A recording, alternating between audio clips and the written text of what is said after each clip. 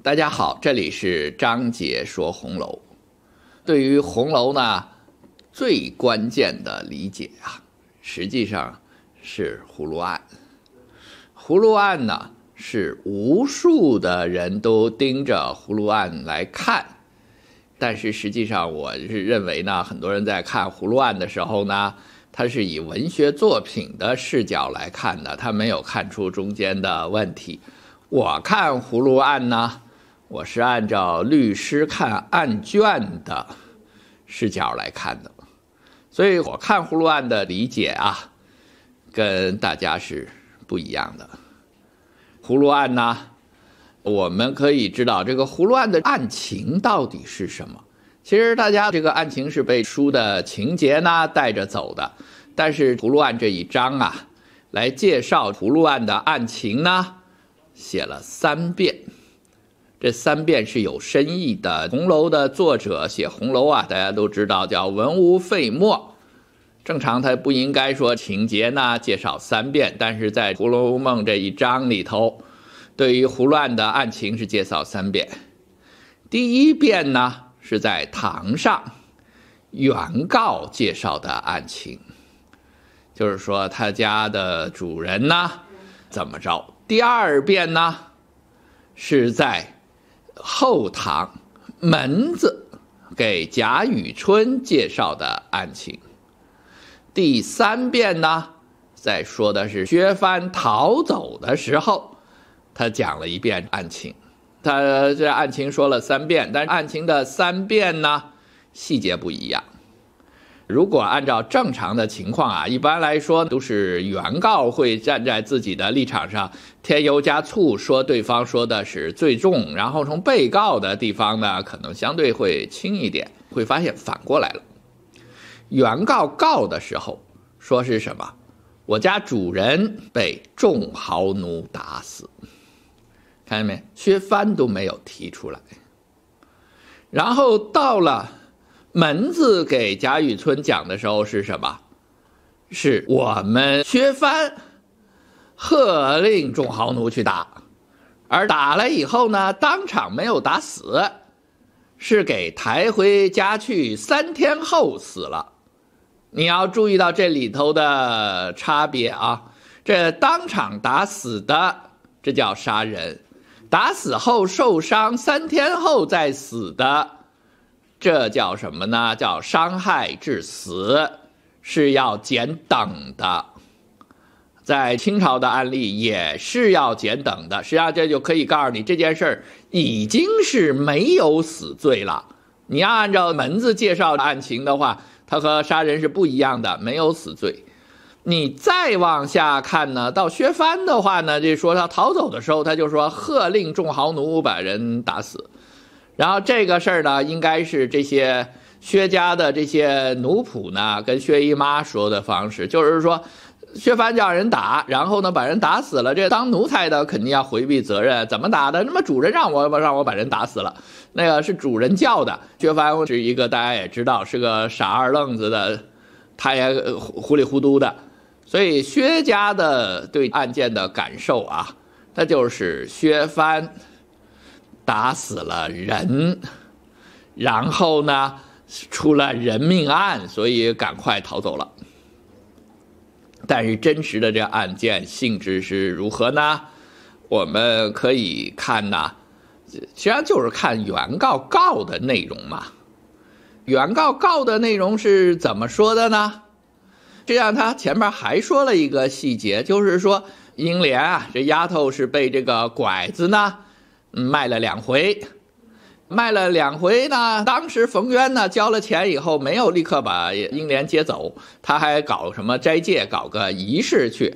结果呢，那个拐子就卖给薛帆了。薛帆买了以后呢，那显然是直接带走了。所以这时候说的挺清楚的，冯渊是上去夺取丫头，这话说的很清楚。其实这个买呢，对于薛帆来讲，他肯定是不知道你前面已经又卖了一手。所以呢，他已经买完了以后呢，他这边一手交钱，那边一手交货，他已经彻底买完了，人也带走了。然后这时候呢，是冯渊去夺取，那意味着什么？怎么夺取啊？实际上这件事儿啊，是冯渊带人打上了薛家的门儿，去拿丫头，但是打呢没打过，就这么一个简单的过程啊。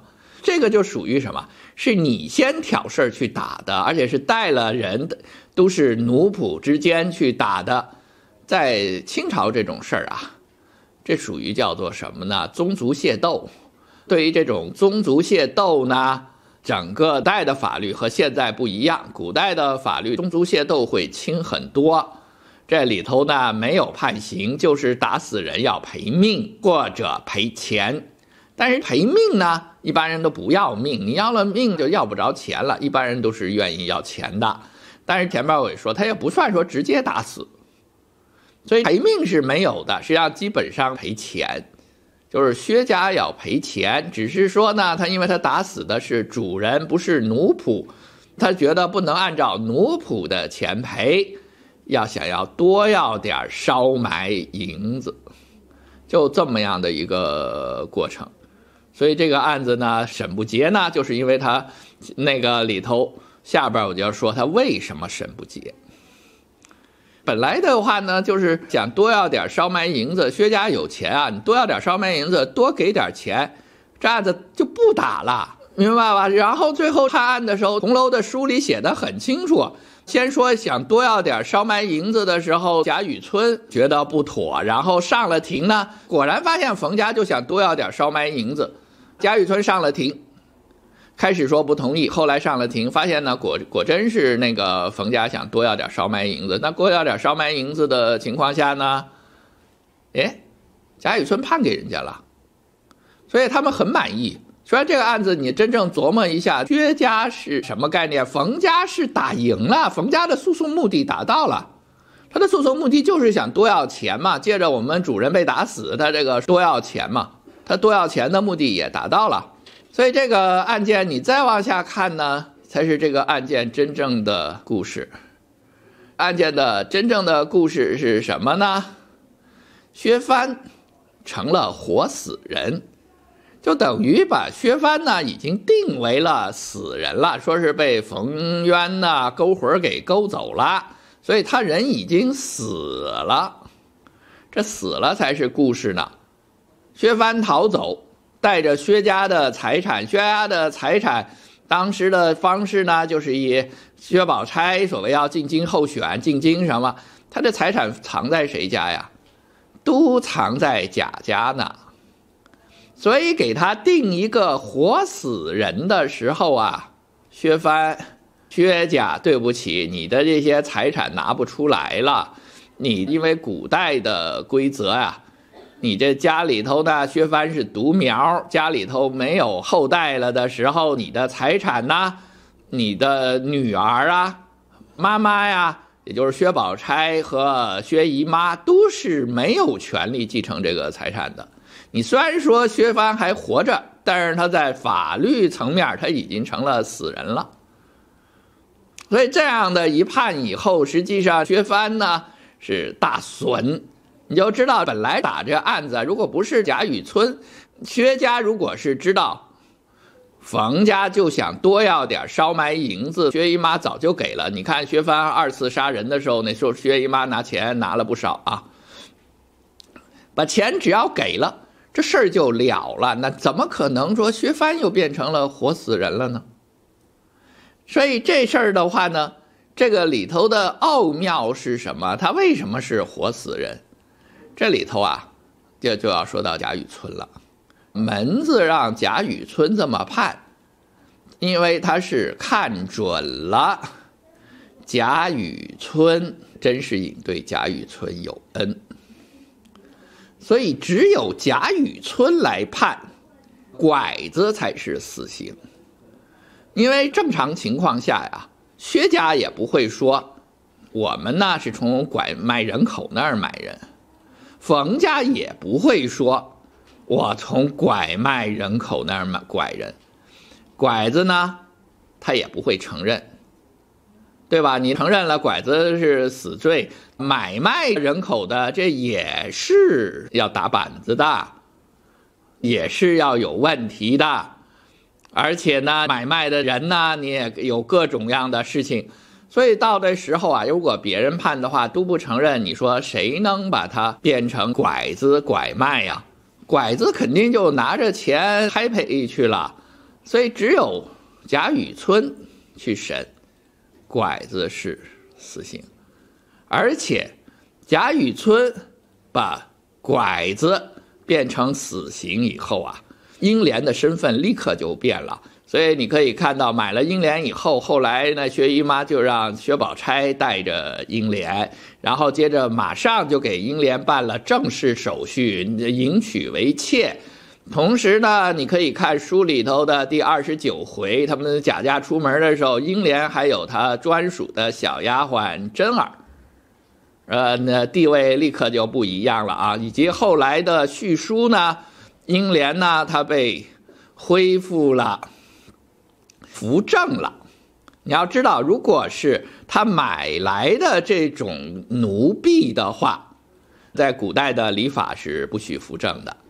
啊，为什么能扶正呢？就是因为这就是属于拐子被杀了以后，他实际上是拐卖的，所以他属于良家。你一定明白，他这是属于良家。而且这个案件的话呢，你判完了以后。它起到的一个效果，就是说，为什么薛蟠也得是死了，这个冯渊也是得死了？你把拐子变成了拐卖，在大明和大清的律例当中，购买拐卖人口也是罪呀。所以薛蟠死了嘛，这当然事儿就不提了嘛，也是很重要的一点。所以薛蟠，你既然是这方是你买了拐卖人口，那你当然你就该死了。所以这事儿呢，所有读者读到这儿的时候啊，其实好多读者都有一个比较愤怒的事情是什么？贾雨村答应了甄士隐去给他找女儿，为什么不把英莲的身份说出来？贾雨村为什么不说出来啊？那么可以跟大家讲，贾雨村是没法说出来，他要说出来。这个案子就不能由他管。怎么讲？这案子不能由他管呢？因为贾雨村这时候啊，已经娶了焦杏儿，而且呢，把焦杏儿扶正了。你要知道，焦杏儿的身份呢，最开始是甄家的婢女，她能扶正了呢。其实以后我们也会说，按照潜规则。你婢女嫁到了好人家干什么的？特别的做妾，抬高一下她的声望，绝对不是说嫁婢女过去，是甄家要把她收为养女的，这是潜规则啊。所以实际上就算是婢女，也是一样是跟甄家有关系。所以就相当于什么呀？甄士隐实际上是贾雨村的岳丈，老泰山，相当于他家女儿的事儿，你是女婿。这个案件在审的时候呢，贾雨村是必须回避的。他不是说他可以去审理案件的，他是必须回避的。古代的回避呢也非常的严格，所以这件事儿呢，也是贾雨村最后真正要整死门子的关键。你要知道，在古代呀，人家说怕门子知道他以前的事儿，他以前的话不就是个穷吗？古代科举啊。让寒门能登天子堂，也是当时的政治正确啊！一说起来，家里有钱的都要说我们是寒门出身呐。所以拐子这个门字啊，能说贾雨村以前是穷，贾雨村不害怕，他害怕的是什么？害怕的是门子可是认识交信儿的。焦杏儿当时作为婢女，可不是小姐，到处大门不出二门不迈，婢女到处出来跑着干活的。如果门子待的时间长了，你像知府的夫人，保不齐就能碰着，碰着以后给认出来了，那可是麻烦事儿啊！你在这种案件当中没有回避，那是一个大问题。所以为什么贾雨村这个事儿是对英莲和香莲、香菱？女孩的甄家的身份，她为什么藏得很深，守口如瓶啊？这就是她的伤疤呀！只要别人揭出来拿这事儿弹劾她，她就得革职。所以比现在的古代这种在王法问题上比现在严格的多。所以她就是必须藏着的事情，她是不能说出来的。她说出来呢，会有非常大的问题。但是呢，甄家的女儿经过他的葫芦案，实际上呢，他也是替甄家报了个仇，把拐子呢给杀了，算是得到了他想要的事情。而整个这案子呢，因为他的关系呢，实际上是帮着贾家呢，把薛家做成了绝户。整个这个冯家呢。实际上该要的钱要着了，他本来就是案子，他就是多要点烧埋费用，然后那烧埋费用也要着了，所以案子的话呀，冯家这个案子是打赢了，他不是打输了，他的诉讼目的都达到了，原书里写的非常清楚嘛，他就是想多要点烧埋银子，要到了，而且按照律例也很清楚嘛，因为古代的这些读书人啊，不像现在，现在很多看小说的、认字儿的。那好多的不学法律，甚至是法盲。但是古代呢，有一点，古代的读书人啊，你只要参加科举考秀才的话，他就要考律例。除了八股文以外，他要考律例、写判决。所以古代的读书人实际上对这些律例都很清楚。所以他很清楚律例了以后，他再读书的时候啊，他可能感觉就和你现代人呐不一样。所以葫芦案呢，你按照了新的理解，马上你可以知道它对于全书逻辑都是有根本性的影响的。以后呢，有机会在这一章一节当当中给大家慢慢的展开。谢谢大家，今天呢就跟大家分享到这儿，再见。